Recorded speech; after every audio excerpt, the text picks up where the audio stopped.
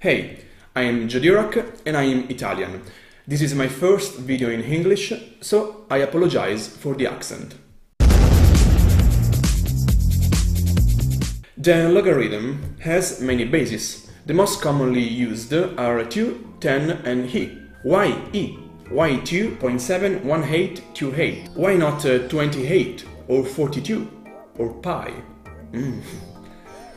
Pi. Oh, I apologize. I'm starving. Today the mafia stole my gondola and I couldn't go get some spaghetti. Anyway, there are uh, many, many, many, many, many, many, many, many, many, many reasons to choose E as base. I'm gonna show you my favorite. I will only use very simple mathematical concepts so that everyone will be able to follow, except for the last chapter where I will use the concept of limit. Let's start from 5 plus 5 plus 5.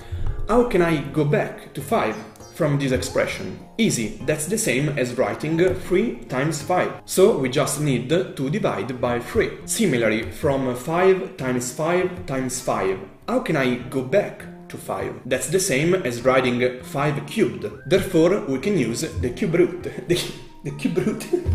it's a me, JoDirac. These are the two most common ways to find an average. Arithmetic mean, for short AM, and geometric mean, for short GM. For example, the arithmetic mean of 1, 8 and 27 is 12, while the geometric mean of the same three numbers, 1, 8 and 27 is 6.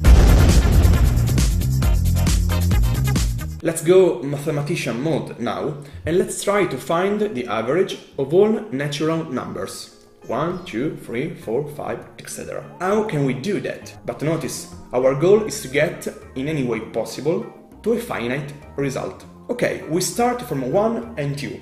The arithmetic mean of 1 and 2 is 1.5. Now we add the 3 and the arithmetic mean is 2. If we add 4, the arithmetic mean is 2.5. If we add 5, the arithmetic mean is 3. If we continue this process indefinitely, we would get the average of all natural numbers, and we'd have our answer. Until now, it looks like the average is always increasing by 0.5. If this uh, trend goes on forever, it means that, eventually, the average will be greater than 100, and greater than 1000, and greater than 10,000. In mathematics, this phenomenon is called divergent sequence, and it means that the average of all natural numbers is infinite. Boring. Let's try with the geometric mean then. The square root of 1 times 2 is 1.4. The cube root of 1 times 2 times 3 is 1.8. Even with the geometric mean, the average keeps increasing indefinitely. The answer is infinite. Again, isn't it frustrating? What we need is a way to compress, to squeeze these averages, to make them finite. I am not small. I am stronger than you. Hey, hey you! Can't ignore me.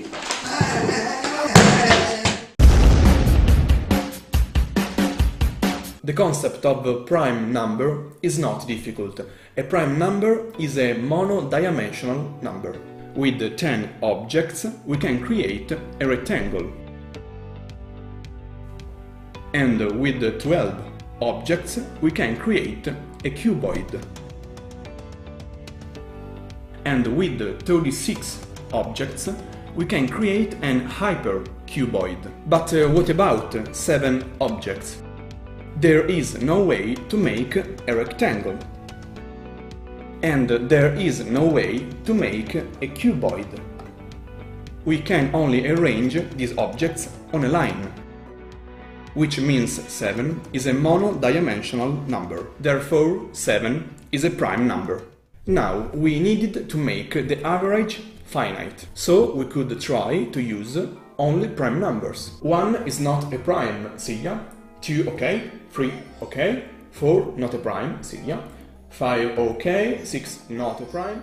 Awesome, now the values are smaller. Unfortunately, that's not enough. this is still divergent. It will eventually be greater than 100, then 1000, and by the end, it will be infinite. Last chance, let's try to make this one finite. Let's keep only prime numbers, and uh, yes, it works. 1.4, 1.8, 1.6, 2. Even though this sequence looks like the other ones, is not divergent. It converges.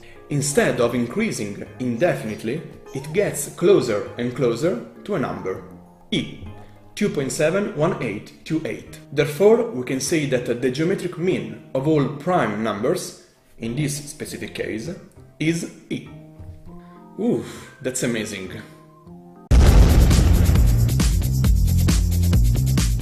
What I find fascinating is that we know this result without knowing all the numbers. I mean, this is called Basel problem. 1 over 1 plus 1 over 4 plus 1 over 9 plus 1 over 16 plus 1 over 25. This infinite sum is pi squared over 6. Okay, there are infinite terms, and this is already fascinating uh, per se, but we know them. In fact, they are all squares. 1, 4, 9, 16, 25, 36. If we ask ourselves, what is the 100th fraction in this sum? The answer is quite simple. 1 over 100 squared, which is 1 over 10,000. There are ways to find the 100th prime number, like Gandhi's formula.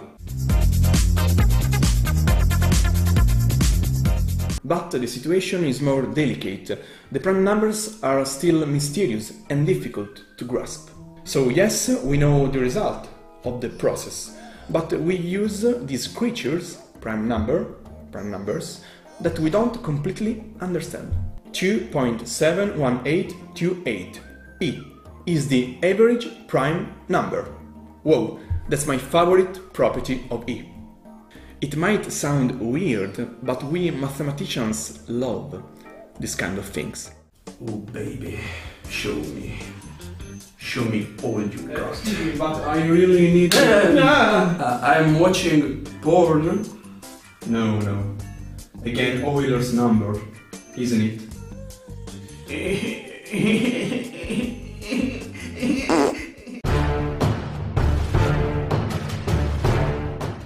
are going to prove all the results we found before.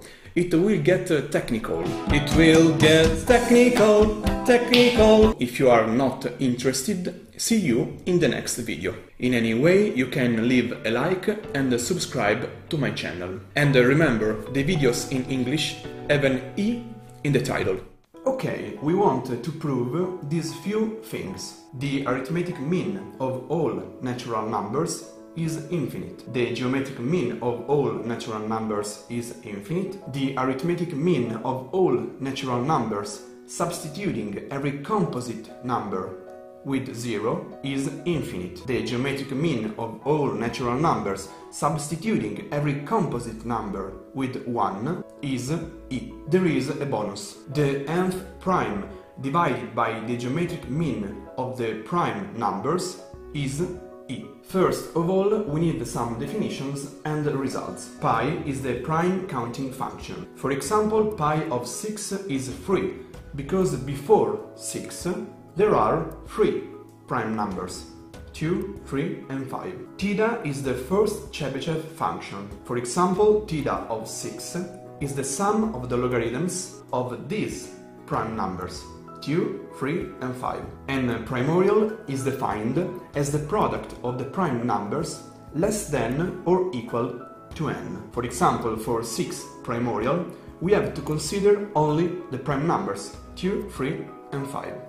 We'll need Stirling's formula as well, and in particular this case involving logarithms. And then the prime number theorem, these two are equivalent. Last but not least, this result from Landau for the sum of n prime numbers. Okay, we are ready now. The first one is the easiest one. The sum of the numbers from 1 to n can be written using the formula that Gauss found out when he was 9 years old. n plus 1 times n divided by 2. We can simplify and uh, we can easily see that it diverges. The next one. When we have a positive number, we can always write in this way. We know that ln of n factorial is asymptotic to n times ln of n. But uh, writing this, this asymptotic, is wrong, because in mathematics every object works well with something. For example, differentiation with addition. Similarly, the asymptotic works well with the product with the power, but not with the exponentiation. What uh, we can do is studying the exponent separately. We know that ln of n goes to infinity, therefore also this fraction goes to infinity, and e to the power of infinity is infinity. For the third limit, we'll use Landau. We substitute n with the pi of n. We add n to the denominator, and now we use the prime number theorem. We said that the asymptotic works well with the power, and fortunately it does with the logarithm too. What is important is that the limit is infinity, 0 plus, or any positive number different from 1. So we have this and this. The n simplifies and now these two fractions tend to infinity because n wins over the logarithm and we have infinity. Here we are at the most interesting geometric mean. Like before, let's write this but this is exactly Chebyshev function. Let's see why. Using laws of logarithms, we can switch addition with multiplication. But the argument of the logarithm is, by definition, the primorial of x. By studying the exponent separately, we have uh, 1 and e. At last, the bonus formula. This is a result due to Sándor Verroken. Let's see an example with the number 7. The difference lies in the root. 7, 4. 7 is the fourth prime number, therefore we have 4. Both these expressions, considering all the prime numbers, have e as their limit. Thanks, and bye for now.